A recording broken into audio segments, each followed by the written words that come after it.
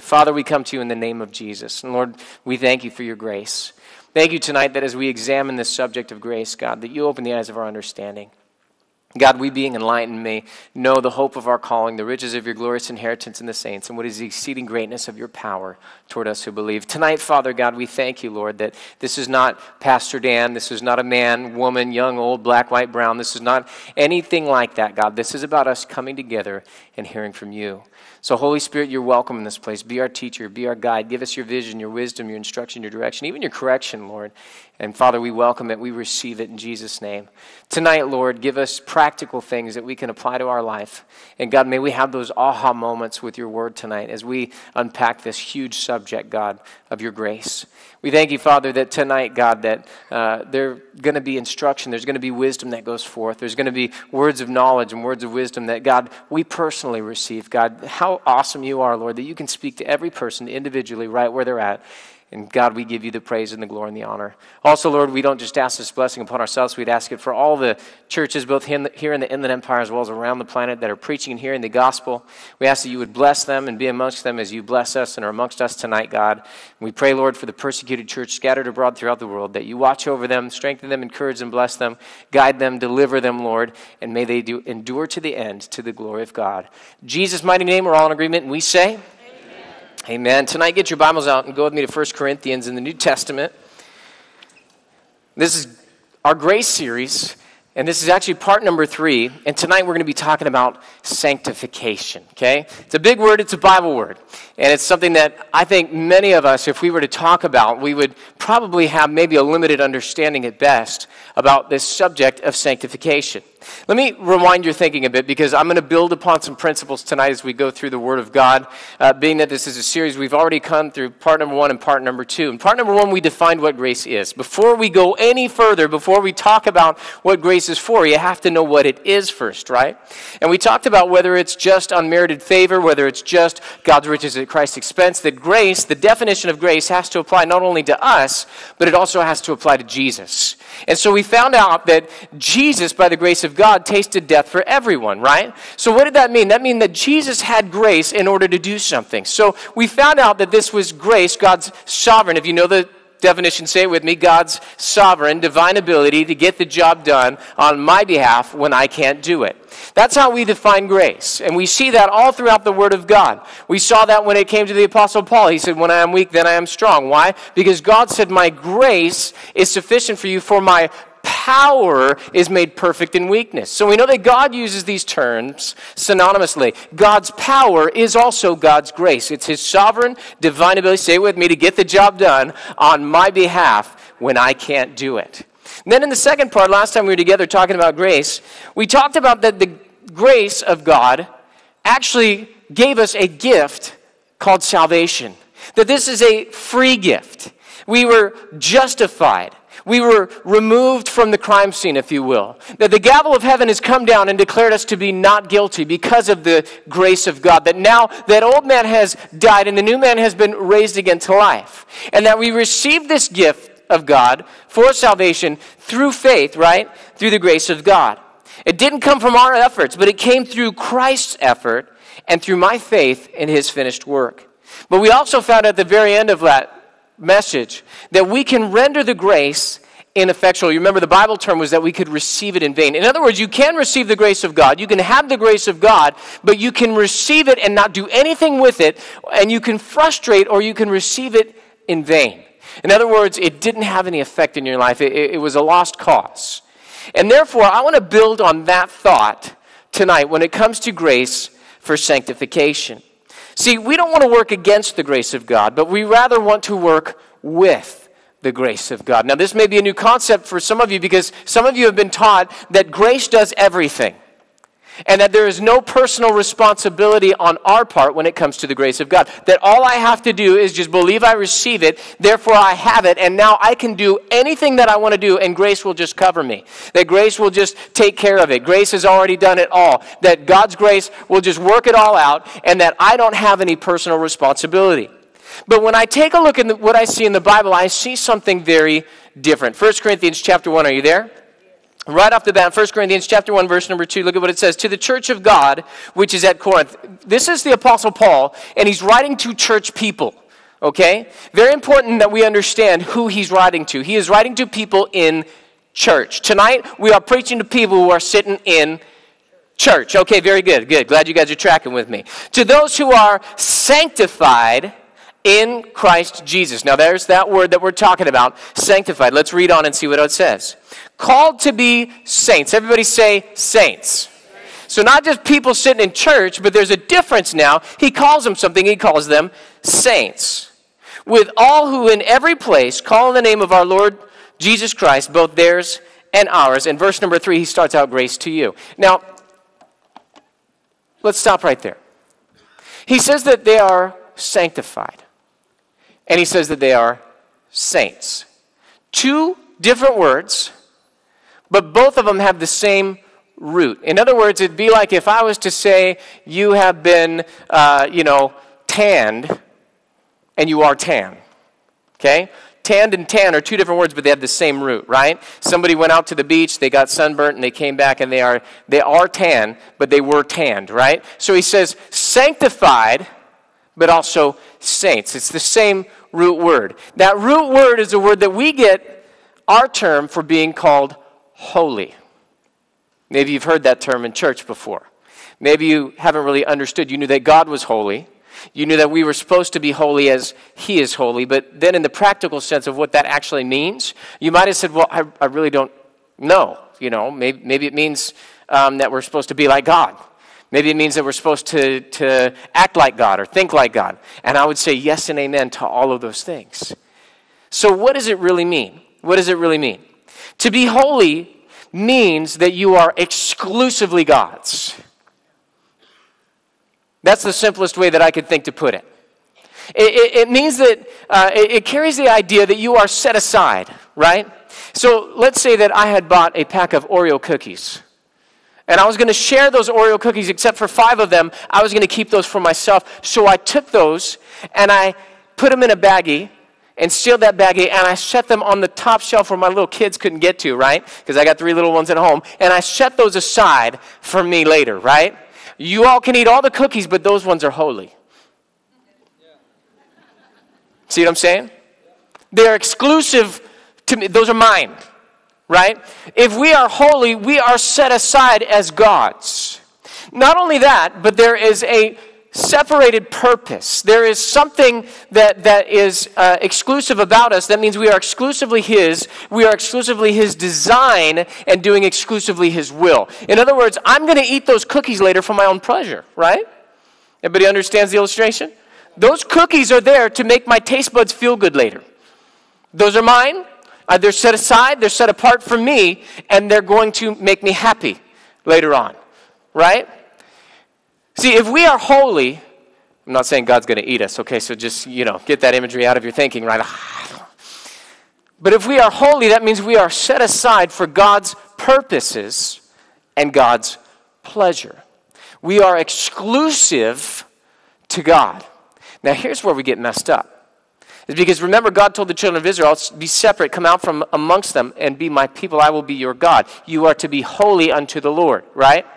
And so the Israelites in the Jewish nation, they separated themselves from the people so much so they wouldn't even intermarry. They, they, they wouldn't talk to certain people. There was prejudices that went on that, that came with that. And you can see that all throughout the Bible. That's the extreme version of that.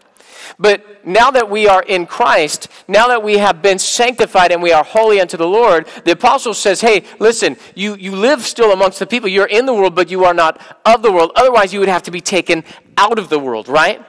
So he said, I'm not saying that you should shun every, you know, like, like it, it, you should stay away from people who are doing these things, but, but you can't disassociate with everyone on the planet. That would mean at the gas station you couldn't talk to anybody who wasn't saved. That would mean at the, the restaurant you couldn't be served by anyone who's not a Christian. You are in the world, but you are not of the world. But you are separated from the world.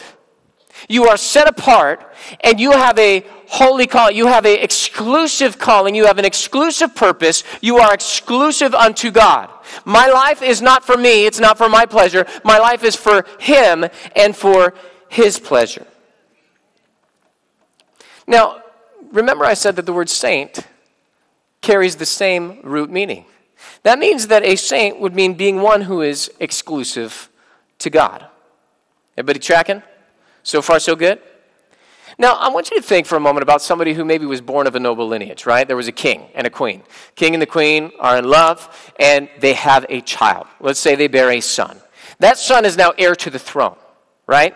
The moment that son is born into this world, he is nobility, okay? He is royalty. He has everything inside of him to become a king. He's going to grow. He's got 10 fingers, 10 toes, right? All that kind of stuff. They see he's got his hair, his eyes, all that goodness, right? The five senses are going on. He's eating, he's, he's, he's living his life, he's learning, he's growing. But at the moment of birth, he is not yet the king, right?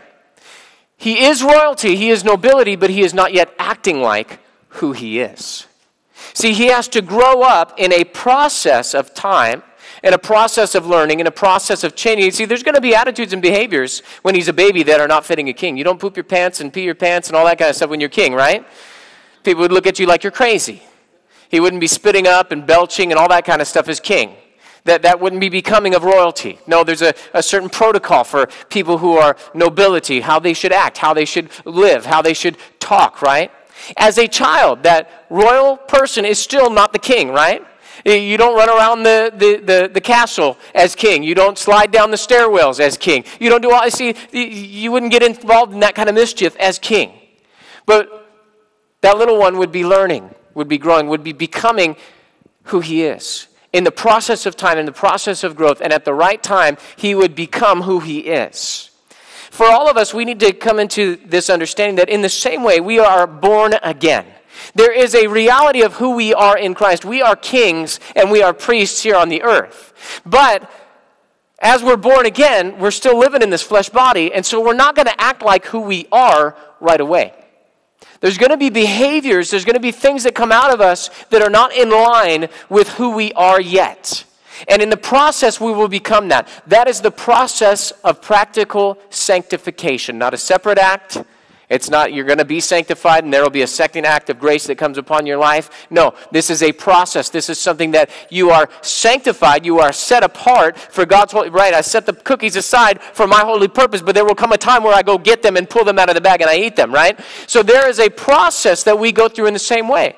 There is time, there is testing, there is learning, there is growth, there is understanding, there's wisdom, there's direction, there, there's correction, there's things that take place in our life that go through this process of sanctification, okay? That means that we are sanctified, but it's going to be a process for us to start acting like it, okay? Clear as mud? All right, good. Now, for those of you who are having a hard time with this, I drew a graph, okay, to help you understand this, all right? Uh, I, I show on one side identity, okay? That is the positional truth of who we are, okay? So on this side, you've got your identity, the positional truth. This is who you are in Christ. The moment that you are born again, you now have a new identity. You are no longer that old sinner, now you are a saint, right? You are sanctified, you are set apart, you are holy, you are in Him. Now, on the other side of that, we have the lifestyle or the behavioral application, okay? And that means that how you live is the behavioral application. That is Christ in us, okay? So the identity portion, the positional truth is who I am in Him. But then the behavioral application is how I live. Christ in us, right? So when I'm in Christ, when I understand the in Him realities, now I understand my identity, who I am in Christ. But then who Christ is in me is the behavioral application. That is where the grace of God comes in and helps us to live how Christ wants us to live. On our positional side, it is grace gifted. You are sanctified. It is a gift when you are saved and sanctified. You are set apart for God's holy purposes. You are exclusively His. That is a positional truth, and that is a positional gift. Okay? But on the behavioral application of that, that is grace manifested or appearing. That's grace being shown in and through your life.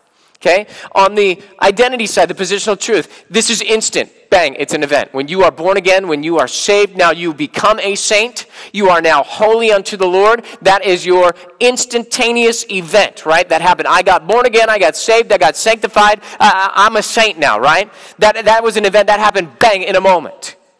But on the other side, the lifestyle application, the behavioral application of that is that this is progressive. It's a process. Both of these are simultaneously true. Okay? We see this often throughout the Bible this dual uh, understanding, this dual reality. See, righteousness, it's both a position and a practice. It's the right wisdom, the right way of God. That it's, it's not only our position that I have a right standing with God, but also it's the right application that I can do right living because of the way that God tells me to live. That is the righteousness of God. So, sanctification, being set apart, is a position. I am set apart, but it's also a practice. I've got to set myself apart. Everybody understanding?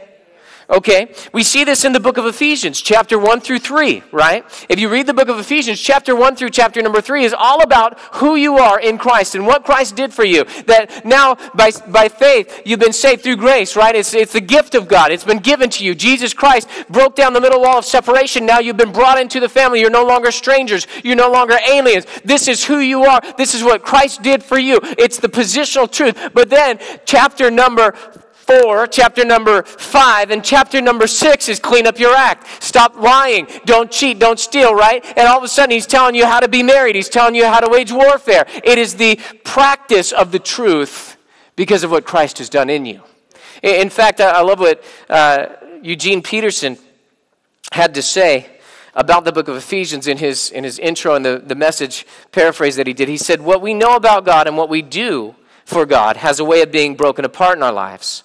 The moment the organic unity of belief and behavior is damaged in any way, we are incapable of living out the full humanity for which we were created. I like how Pastor Deborah says this. Pastor Deborah says, in her definition of grace, that it is God's power in me to do what His truth demands of me. When you look at grace for sanctification to be set apart for God's holy purpose, grace is God's power in me to do what His truth demands of me. When I see in the Word of God to be holy as He is holy, that can be overwhelming. Uh, in fact, some of the translations say, Be ye perfect as I am perfect. That right there could crush anyone, right? I can't be perfect, right? Nobody's perfect. Jesus is the only one who's perfect. He was sinless. He was spot. I messed up. No way I can be perfect. But you can be set apart by the grace of God. You can do this because God wouldn't tell you to do something if He wasn't also going to give you the power and the ability to do it. That is the grace of God to set you apart and be holy. It's God's power in me to do what His truth demands of me.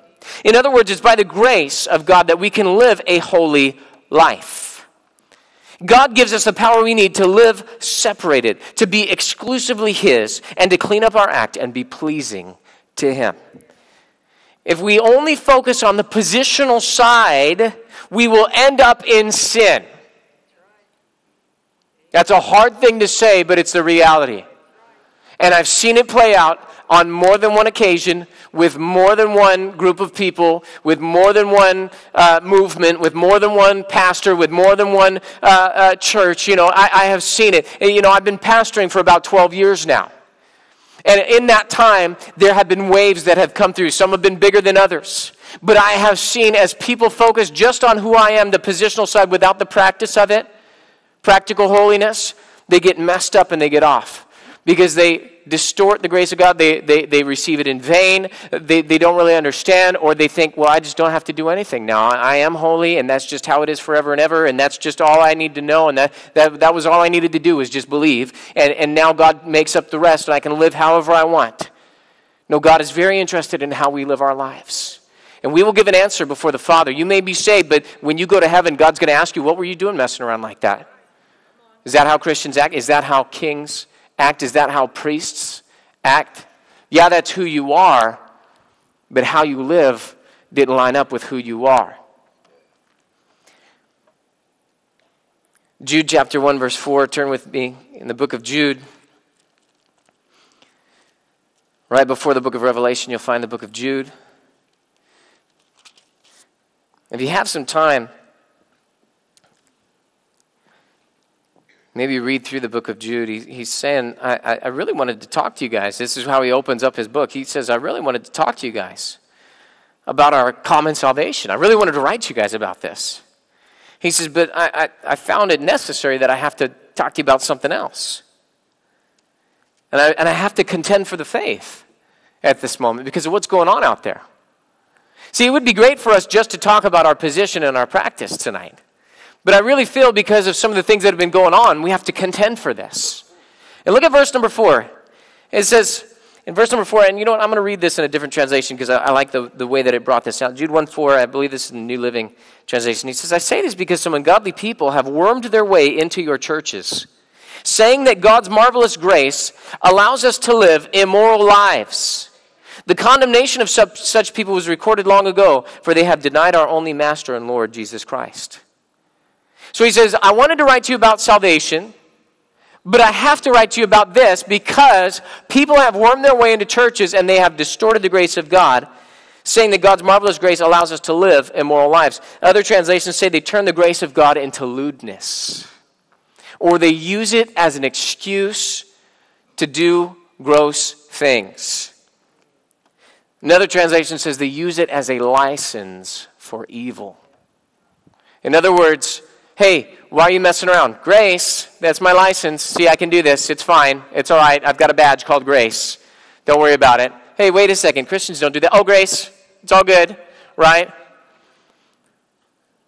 Well, wait a second. I thought we weren't supposed to. No, Grace, right? They use it as a license for evil.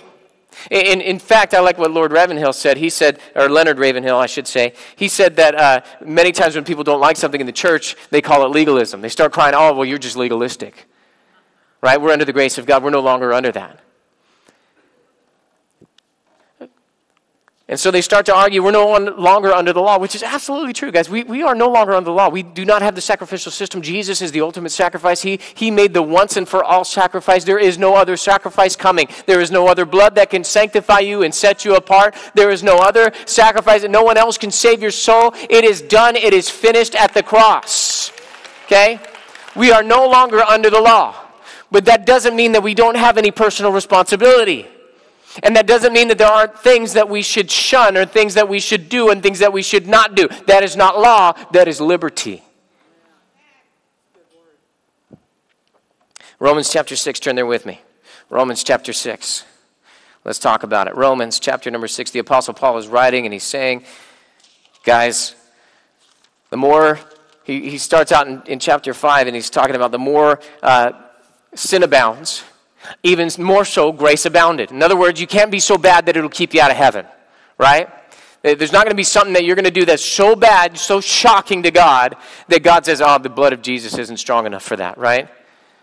Eh, you, you can't mess up too much to keep you out. Just like you can't work your way and be good enough to get in, right? It has to be by faith in the blood of Jesus, and then the grace of God steps in. It's a gift, right? But you can frustrate it, you can receive it in vain. And so he says, well, wait a second. So, so then some would say, shall we sin that grace may abound? Certainly not, right? And then he drops down in verse number 15. Turn, the, turn there. Romans chapter 6, verse number 15. He says, what then? Shall we sin because we are not under law, but under grace? Certainly not. Guys, this is 2,000 years ago. How come nothing has changed?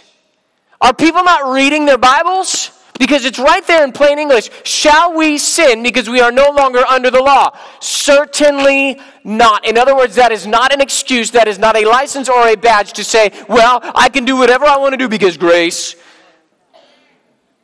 It's okay, grace. No, it's not. You should not sin. In other words, willfully turn away from and miss the direction of where God would have you to go. That is sin, where you're missing the mark. Now, you have sinned. You have willfully rebelled and turned away. He says, Shall we do that? Shall we turn away from what God tells us to do and what God tells us not to do just because we're no longer under the law? Certainly not. Verse number 16 Do you not know that to whom you present yourselves slaves to obey, you are that one slaves whom you obey, whether of sin leading to death or of obedience leading to righteousness? In other words, obedience, when you obey the Word of God, it leads you to the right position and the right practice of what God says. As you flee from sin and as you sanctify yourself, set yourselves apart from the world. You are no longer a sinner. Many churches teach you, oh, I'm just a sinner saved by grace. Listen, no, you're not. Positionally, you are a saint. You are set apart. You, are, you were a sinner, yeah, but now positionally, I'm no longer a sinner. I'm a saint. So then, why do we still sin? Because we're in the process of cleaning up our act. We're being sanctified. We're setting ourselves apart from those things. We're learning, we're growing. And that's why, if you mess up, repent. In other words, change your mind, change your direction. I was going this way and I realized I was wrong, and so I turned from my direction 180 degrees away from that and I went back towards what God's direction is. And I'm no longer going to present myself as a slave to sin. No, I'm going to present myself as a slave to righteousness, as a slave to God. I'm going to allow God to come. I'm going to yield to His will and His way, and He's going to lead me to His righteousness, that position and that practice of what God wants me to do. That is our sanctification. Philippians chapter 2, let's take a look at it. Let's take a look at it. Now that we know that we're not to just use grace as a license to sin, let's take a look at what this looks like practically in our lives. Philippians chapter number 2. Philippians chapter. You guys still doing okay? I know this is a lot. I, I understand. I know. I am just unleashing. It's like taking a drink out of a fire hose. I get it, okay? God will enlarge your capacity, and there's seeds that are going to be planted tonight that won't come to fruition for some time in your life. Because we're all growing, we're all learning, we're all walking this life out and learning how to live. And that's where I, am saying, listen, it would be easy to say grace covers it all. Just do whatever you want to do. But then we, we why come to church, right? We just shut the doors after praise and worship because we felt good about ourselves and then we leave. See, this takes work, doesn't it? And we hate that. I, I don't want to work. I work all day. I want to come to church and feel good about myself. Well, listen, you can feel good about Himself because you're in Christ and you are a saint. You are sanctified. You are holy. And guess what? You can feel good that, you know what? I'm not the same man I used to be. I'm not the same woman I used to be. I used to be a sinner, but now I'm a saint. Now let's learn how to live like a saint. You are a king, you are a priest, and now let's learn how to act like it. Philippians chapter 2, verse number 12 and verse number 13. Therefore, my beloved, you know who the beloved are. Those are people who are in Christ Jesus. We are the beloved. Therefore, my beloved, as you have always obeyed, not as in my presence only, but now much more in my absence, look at what he says work out your own salvation with fear and trembling. Pastor, hold on, I got a question. I thought we weren't supposed to work for our salvation. I thought it was a free gift. Yes, it is. But he's not saying work for your salvation with fear and trembling. He's saying work out your salvation with fear and trembling. In other words, what has gone on on the inside you, let it out of you, right? Work out your salvation. In other words, I'm saved. Now I'm going to do this. You know, it's like I, I, was, I got some, some, some of you guys, uh, I'm following you guys on Instagram. I'm watching. And, uh, and some of the brothers are into working out, right? And so uh, one day somebody was posting about don't be hating on somebody who's trying, you know, to, to, to, to eat right and, you know, they're just getting started on their journey and this and that because, you know, there are people who are hating on those that, that are just getting started at the new year with their resolutions, you know. And, and the point of what they were saying was like, hey, listen, give them some grace. Give them some, some encouragement. Don't, don't like be like, oh, yeah, we were working out way before you thought it was cool, you know. And that seems to be the attitude of some. Like, hey, you know what? Uh, w- thanks for joining the party. Finally showing up, that sort of a thing. But really, what they were saying is, no, let, us let's, let's encourage them. Let's, let's help them on their journey. Let, let's, let's do that. Let, us work out. You know, you, you, you are somebody who is now into fitness. You are now into health. That's good. Keep going. Keep learning. Keep growing. Keep doing what you need to do. Keep eating right. Keep, keep doing, uh, you know, posting about that stuff and keep, keep after it. That sort of a thing. I think that's really what the Apostle Paul is saying. He's saying, guys, you, you, know what? You guys were obedient when I was there, but now that I'm gone, and now that we've set up systems in the church, and now that I'm writing to you, listen, much more in my absence, you guys are saved. You got this, okay? Now work that out of your lives. Allow yourselves to let it come out of you. And, and, and, and how do we do that? Next verse, look at what he says. Verse number 13. For it is God who works in you Oh, wait a second. I, I was working out my salvation with fear and trembling.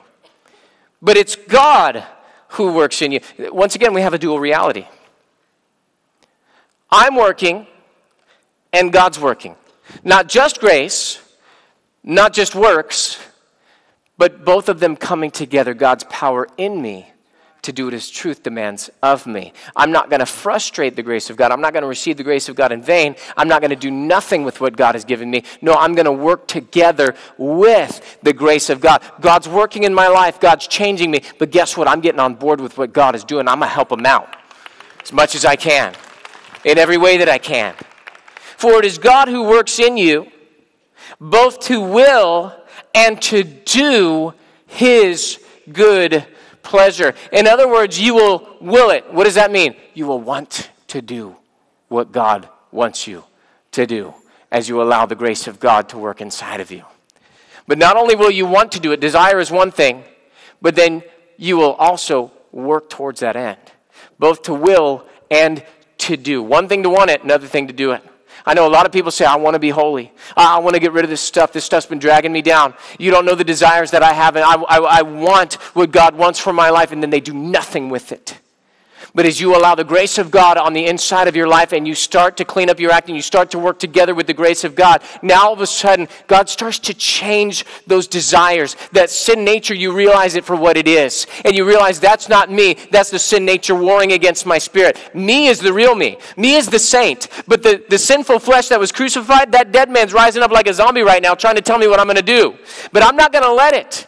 I'm going to put that flesh under, and guess what? I don't want that anymore. God's changing me. He's changing my desires from the inside out. And now, as I recognize that temptation, as I recognize that feeling, I can say no, and I can do what God would have me to do. I can be sanctified. I can live my sanctification. I can be holy, exclusively His.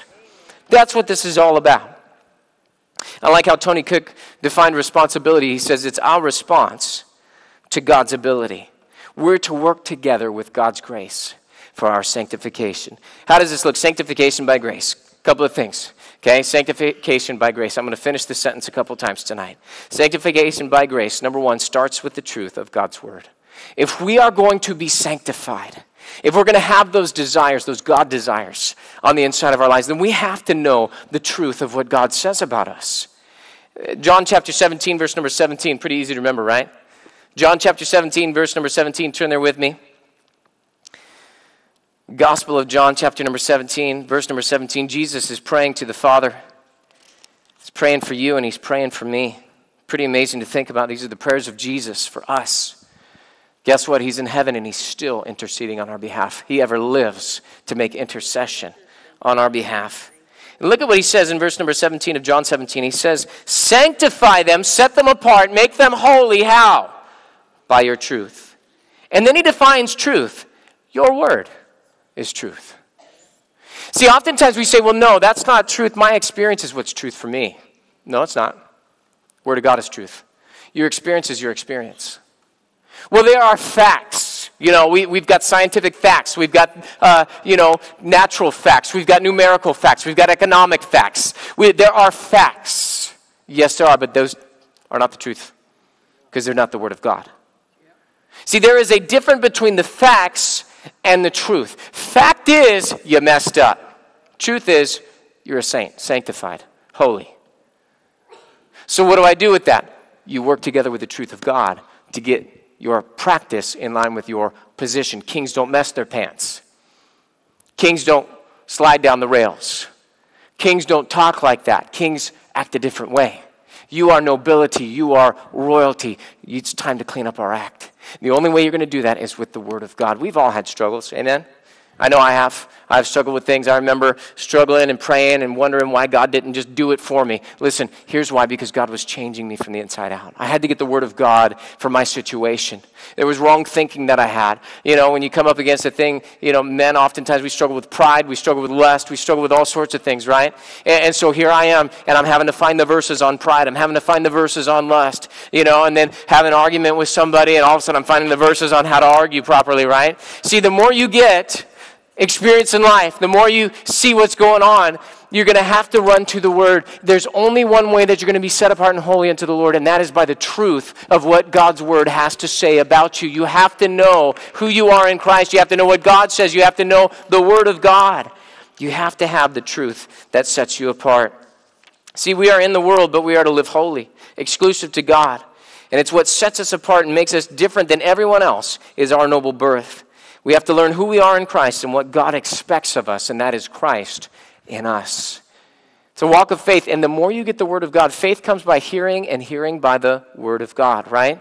So, therefore, this is how this works. You have a situation. You look at what the Word of God has to say. You get the Word of God on it. You believe it. You confess it over your lives, and you start to live it out to the best of your ability. That's where the grace of God sanctifies you by His truth. God starts to move on your behalf.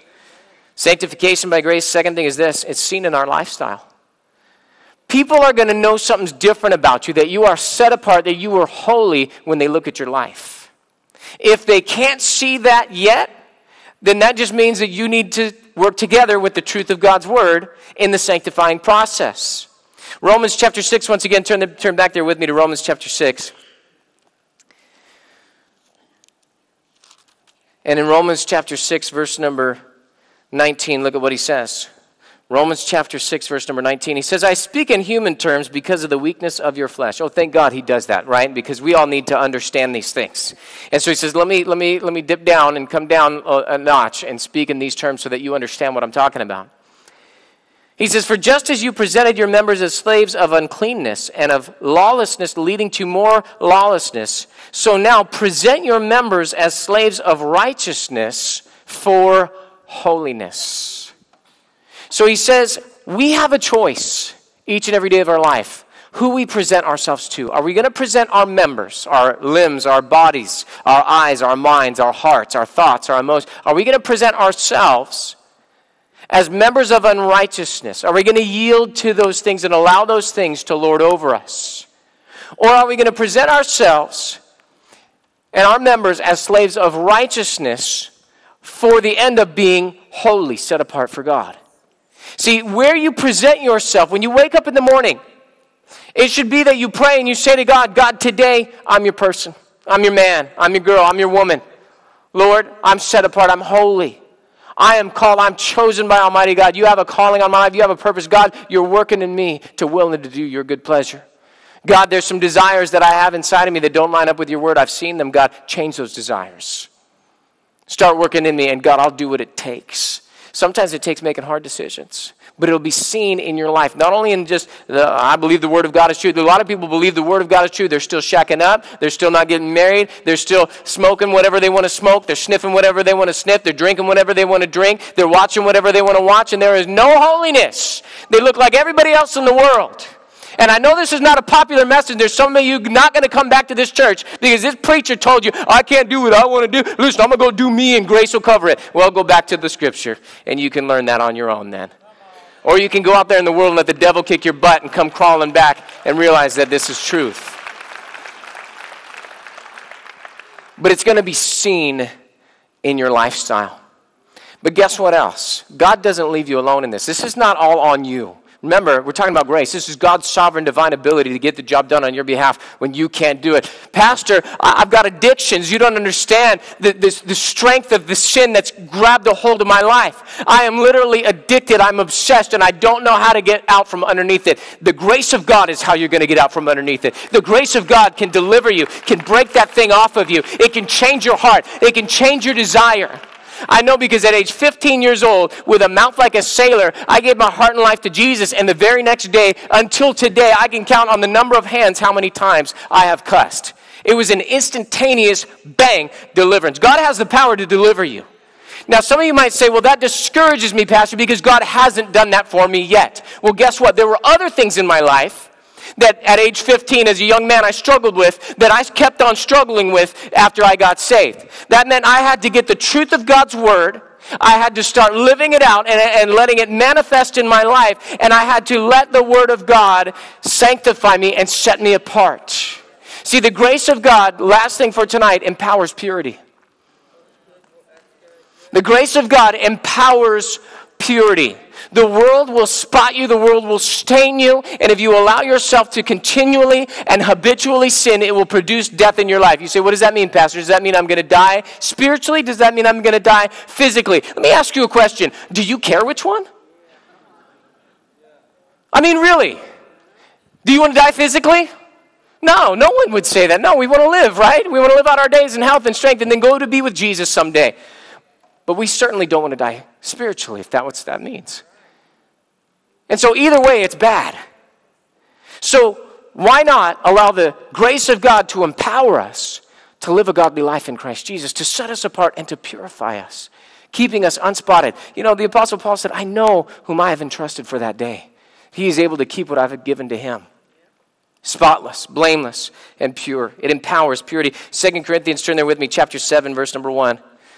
2 Corinthians chapter 7, verse number 1. Last couple of scriptures for tonight. Coming in for a landing. Hallelujah. I know this is a lot, guys. You guys are doing great. The apostle has just written to the Corinthian church and he's told them that God has promises for them. He says, Come out from among them and be separate. Be holy to me as a people. I will be your God and you will be my people. In chapter 7, verse 1, he says, Therefore, in other words, because of the promises, because of what I just said, therefore, having these promises, beloved, once again, he's speaking to the beloved, he's speaking to the people who are in Christ. He says, Let us cleanse ourselves from all filthiness of flesh and spirit, perfecting holiness in the fear of God. Now, I want to point out something that the apostle did not say. He did not say, Let God clean up your life. Okay? Now, we know the blood of Jesus cleanses us from all sin, right? Not some sin, not most of our sin, but all sin. Again, positionally, you are holy. But here, there's a practice, there's a practical sanctification. There's a living out of this holiness that we have to make ourselves exclusively His. So he says, therefore, having these promises, beloved, let who? Us cleanse ourselves. You have a part to play in this. If there are things in your life that you know are spotting you, staining you, wrinkling you, making you any less holy, if there's something in your bedroom underneath your bed that no one knows about except for you, if there's something in the trunk of your car right now that you need to go and destroy, if there are ungodly associations or attachments, then the Bible says, let us. God's not going to do it. God's not going to do it for you. You have a responsibility to work together with the grace of God. You have been cleansed. You're a king. You're a priest. Let's start acting like it. Let us cleanse ourselves from all filthiness of the flesh and spirit, perfecting holiness. And notice he says, perfecting holiness. Listen, guys, we love you, and we will love you while you change. I understand that not everything happens instantaneously, like the cussing, right, that I talked about. There are things that we have to struggle through. There are things that we have to grow to so that we can go to. There are things that God is working in us. There are desires that it's going to take some time. We at this church will love you while you work together with the grace of God and while you change. Listen, everybody in the room is an ex something ex drug addict, ex pimp, ex hoe, ex extortioner. I mean, we got ex mafia men that come to this church. We got ex murderers. We got ex rapists. We got ex everything. Listen, God is not in therapy. He's not taking Prozac. God doesn't uh, wonder and stay up at night and lose sleep about your sin. God knows where you've been. He knows what you've done. And He knows how He's going to get you out of it. He knows where He's leading you. But you got to work together with the grace of God.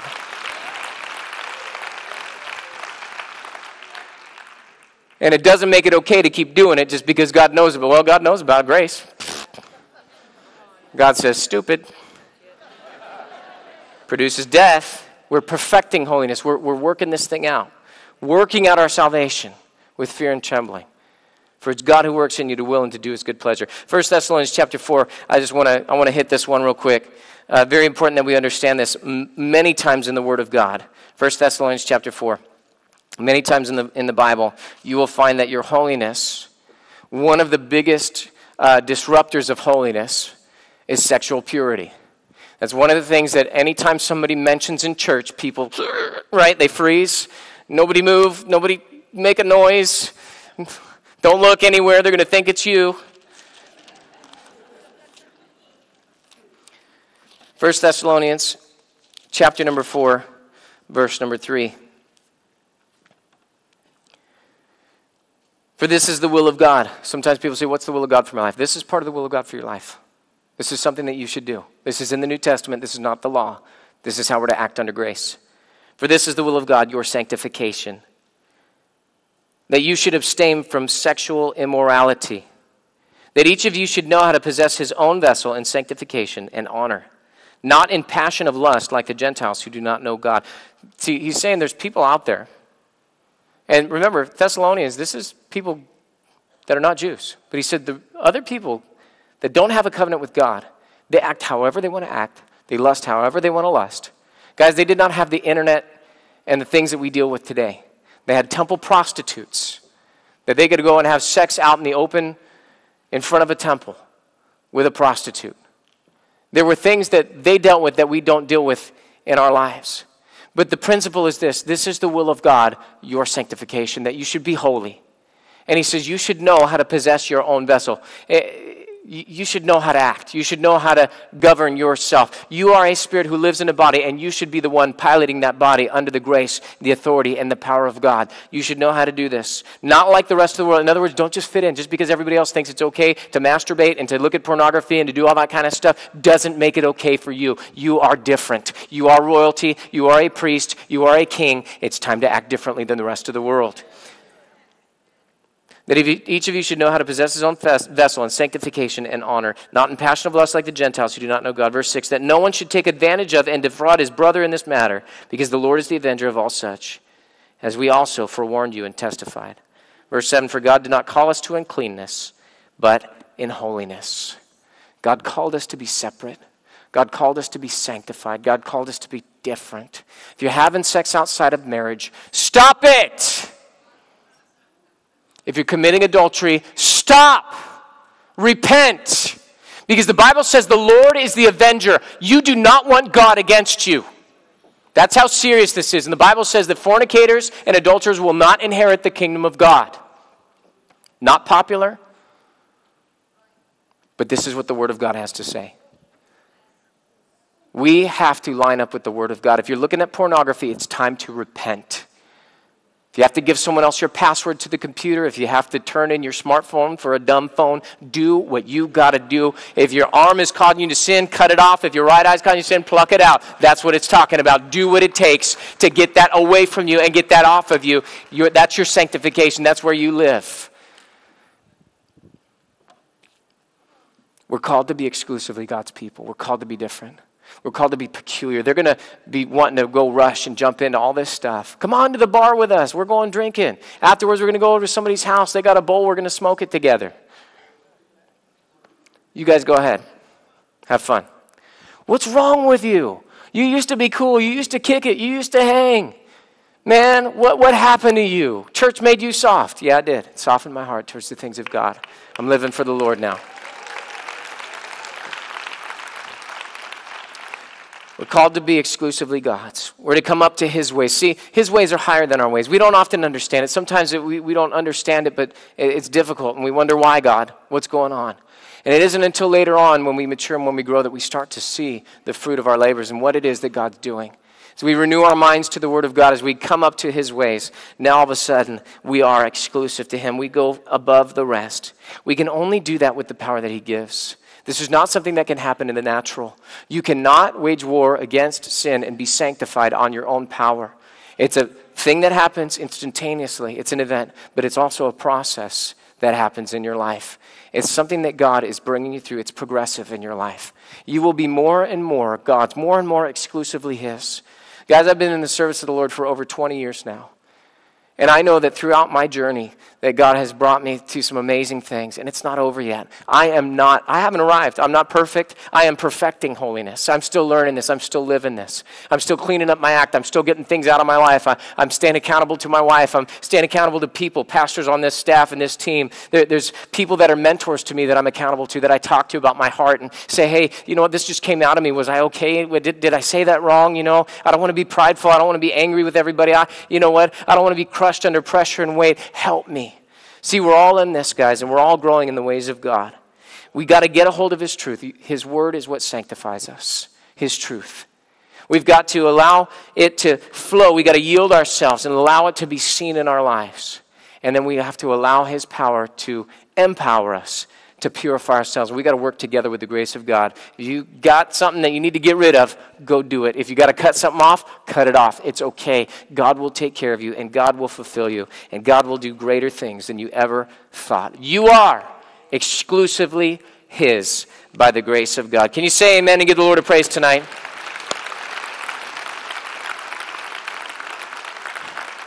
Everybody take a deep breath in.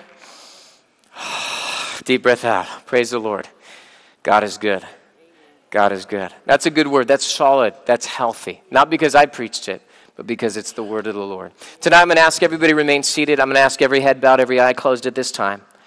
Tonight, some of you in this room, if you were to die, you would die and go to hell. You've never given God all of your heart, and you've never given God all of your life. Yeah, you're sitting in church, but church doesn't get you saved. It's not about church attendance. Like we talked about tonight, it's not about works. You can't do enough good. It's not about being raised in church or being born in America. Just because you're born in America doesn't mean that you're Christian headed for heaven.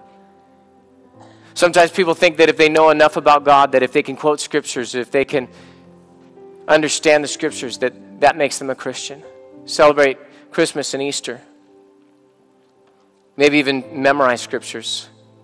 But listen, the demons and the devil believe that Jesus Christ is God. They're not Christians. The Bible records the devil can quote scriptures, and yet that doesn't make him a Christian. It's not about what you have in your head. This is not about your good works, but this is about your heart.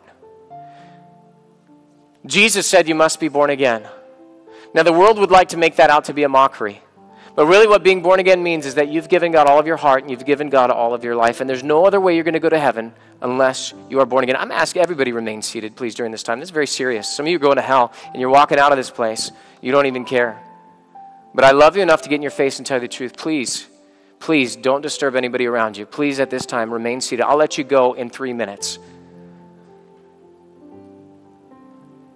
I want to make sure that you don't end up in hell, but that you go to heaven. The only way that you're going to do that is by being born again.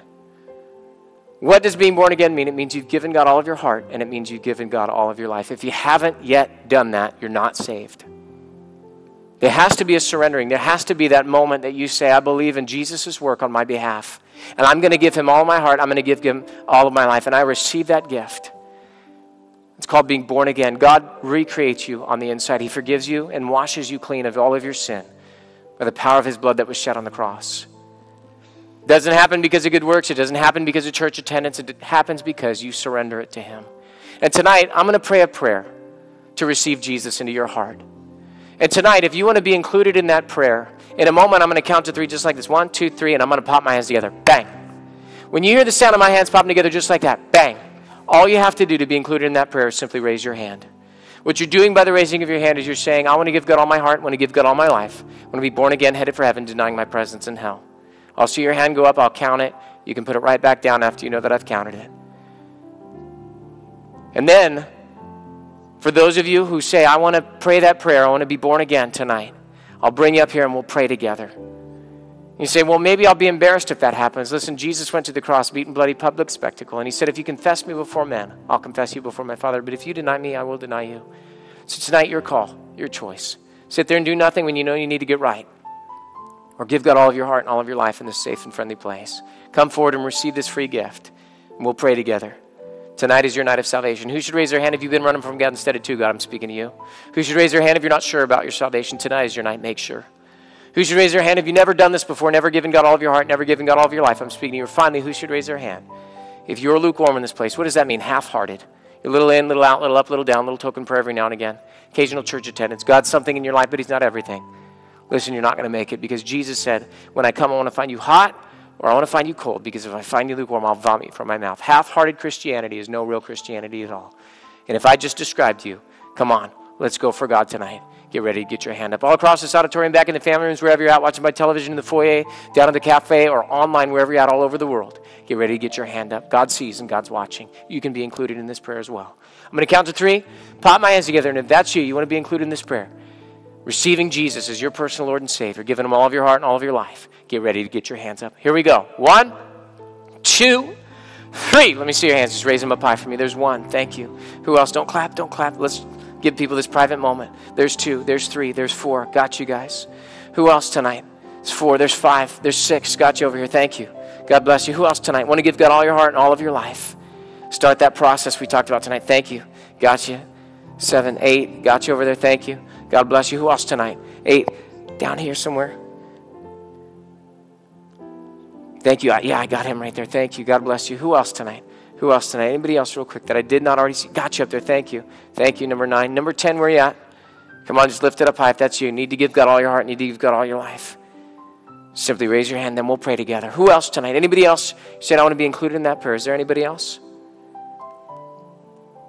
there anybody else that I did not already see? I want to make sure that you're included in this prayer. Up there, thank you. Number 10, God bless you. Right here, number 11, thank you. Down on this side? I think they were pointing over here. All right, praise God. Anybody else, real quick? Real quick, just one more moment, then we're going to wrap this thing up. There's been 11 or 12 wise people. Anybody else? All right, let's give the Lord a great big praise tonight. Okay, quickly, quickly, quickly. Those of you that raised your hand, if you should have raised your hand but you didn't, it's not too late. I want you to get a hold of your coat, purse, sweater, Bible, a friend of you, and a friend. Get in the aisle and meet me up front. We're going to change destinies tonight. We're going to pray together. So let's all stand and welcome them. If you're sitting next to somebody, just nudge them. Say, hey, did you raise your hand? I'll go with you. Come on, friend, let's go. And you come right now. Let's pray. Come on, come on, come on. Come on down.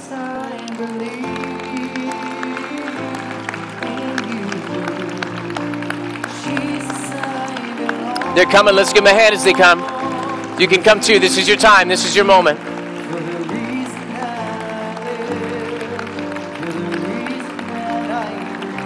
From the families, if your children raise their hand, you can bring them at this time. They're welcome. Come on down. From the foyer, if you're out there and you were listening to my voice and you raised your hand out there, come on in right now. This is your time. This is your moment.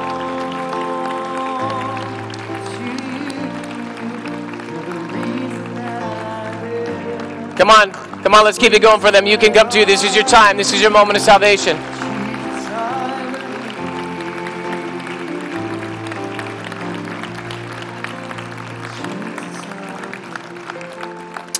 All right. Well, half of you showed up. The rest of you guys, hey, I'm going to still pray that prayer. If you're serious about God, listen, don't start it in disobedience. That's that's not what we talked about that. We talked about obedience and that sort of thing. And so maybe you didn't understand, or maybe you think I'm tricking you. I told you I was going to pray with you. So listen, we're going to pray this prayer right now, okay, guys? Everybody up front, put a smile on your face. It's a good thing, all right? Not a bad thing. Came to give God all your heart, all of your life, going to be born again. Brand new start, brand new heart right here, right now, okay? Now, listen, I'm going to pray simple phrases to invite Jesus in your heart. You're going to be born again. Now, if you mess up on a couple of words, it's okay. All right? This is not about the words of your mouth. This is about the prayer of your heart right now. So let's go before the Lord tonight. And everybody, bow your heads, close your eyes, say these words out loud together with me. Say, Father God, I come to you now in Jesus' name. I give you all of my heart and all my life. Come into my heart. Be my Lord and my Savior. Forgive me my sin. Wash me with your blood and let it be known that from this day on, I am a Christian. I'm born again. I'm a king's kid. I'm headed for heaven, denying my presence in hell. My process of sanctification starts right now. Help me, Holy Spirit. Fill me, Holy Spirit. In Jesus' name I pray. Amen. Come on, let's give the Lord a great big praise tonight. All right. Now listen, we want to help you. Okay, we don't just want to leave you there. Okay, what do I do now that I'm a Christian? I don't really know. It's kind of awkward. Everybody's here. All right, what do we do? I got a friend I want to introduce you to right over here. My right, your left. This is Pastor Joel. He wants to give you some free information, some free literature, find out what to do next in your walk with God. Okay, and also talk to you about a program we have where someone will come alongside you and encourage you. Five weeks, teach you five things out of the Bible. It's easy, it's free. He'll describe how it works. He'll let you come right back out. Take a couple minutes of your time, okay? And then he'll let you come right back out. So if you guys make a left turn, follow Pastor Joel right this way. Let's give him a hand as they go. Hallelujah.